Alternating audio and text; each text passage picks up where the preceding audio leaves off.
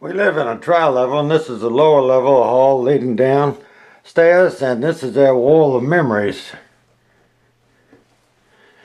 And I, I, used to mount pictures like these for people and these pictures have been mounted for 25 30 years and they do peel off and I used old countertop boards that weren't any good and I could go to a counter shop and buy the boards for almost nothing. I cut them, cut them and painted them and then I put holes in the back so you could hang them on a uh, roofing nail. And it's just about our life. That's my bride when we were dating. That's me when I was dating. And for you males and some females out there, that was a 66 Pontiac Catalina 421. It had a 2 plus 2 convertible and it had a uh, 421 engine with three two-barrel carburetors that had 376 horsepower. A lot of memories in that car. And this is a Barbara Negre in Savannah, Georgia, and this is Savannah Waterfront. So is that one. This is a uh, pheasant hunting trip I took out to Mitchell, South Dakota years ago. These, uh, that's uh, Jeb Stuart Monument on Monument Avenue at Stuart Circle in Virginia.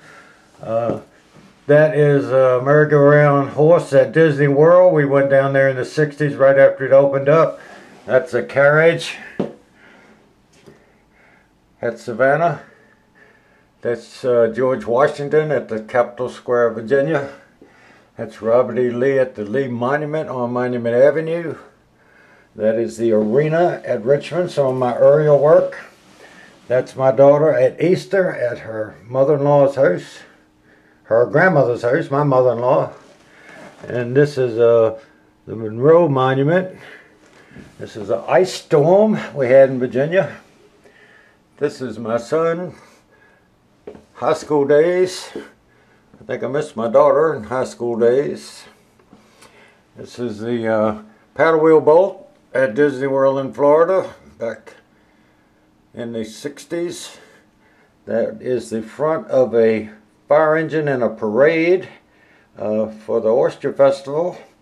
That is a uh, building taken on Broad Street in Richmond. That is a Capitol Square of Richmond with the Capitol. That's me out there hunting in Mitchell, South Dakota with two pheasants that I'd killed. This is a picture of crabs from a long time ago and we caught these on the end of a pier with uh, chicken necks on a string and a weight. And if you ever wondered about it, that's the male, it's long and pointed, and the female has a broad base on the bottom. That's the Rebel Yell at King's Dominion in Virginia, just north of Richmond. That's an ice storm picture. I really like taking pictures of ice storms. And that's my bride. Oh, probably about 20 years or more ago.